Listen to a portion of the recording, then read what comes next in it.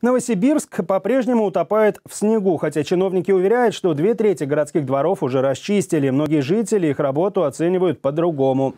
В интернете размещают фотографии и видео, как люди выбираются из заснеженных дворов на расчистку заносов и вывоз снега управляющим компаниям не хватает денег.